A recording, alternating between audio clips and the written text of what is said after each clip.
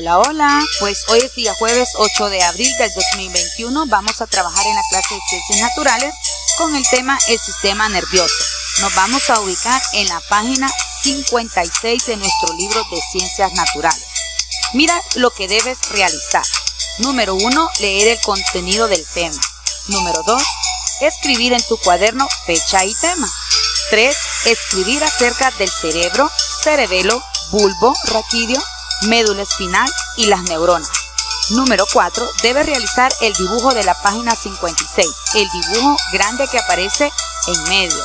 Número 5. Recuerda trabajar ordenado y limpio. Y número 6. Pues debes de enviar evidencia. Nos vemos el viernes chicos, que Dios te bendiga. Hasta pronto.